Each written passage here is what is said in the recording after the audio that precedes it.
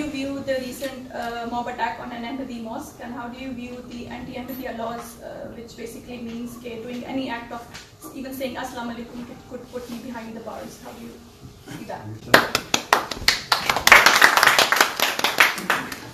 Uh, according to the Constitution of Pakistan, Ahmadis have the equal rights and uh, uh, they are citizens of Pakistan. So their rights are equal to my rights.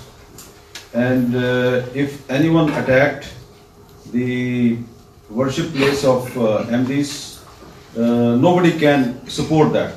It is condemnable.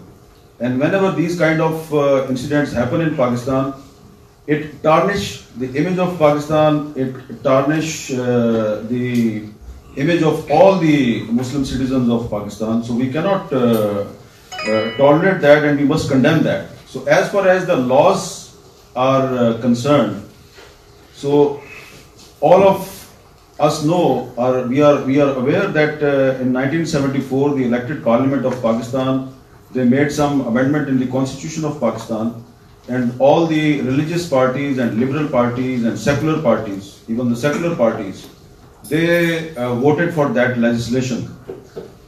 You can disagree with that, you can agree with that, but uh, if uh, somebody says that he believes in the supremacy of the constitution, until unless these laws are not changed, so you have to, as a Pakistani citizen, respect those laws.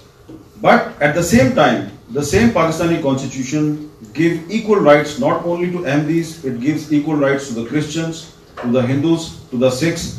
So this is the responsibility of uh, all the big political parties, media, civil society, everyone that uh, whenever this kind of situation arises in Pakistan, in any part of Pakistan, we must raise our voice in support of uh, the Ahmadis, uh, Christians, uh, Hindus, Sikhs, and all other minorities because they are Pakistan.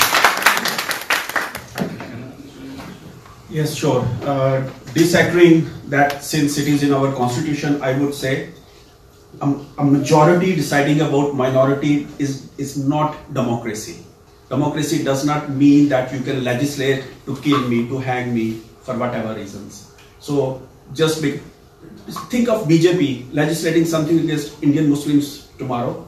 Uh, will it be a democratic decision? This is what we call fascism. Fascism came to power through so-called democratic elections, both in Italy and Germany and elsewhere.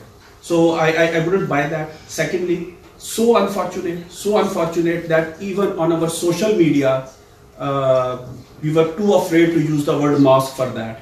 Sialkot is a city I mentioned in my Facebook post where an Ahmadi somehow distantly related to me, uh, to my family or whatever, who was elected as PPP MNA from 1970. And such as the situation deteriorated that, you know, with the state connivance, the mosque was destroyed. Ahmadis, they have the right to call it a mosque. Ahmadis, they have the right to call themselves Muslims. Whatever, whatever they want to be called, I respect that.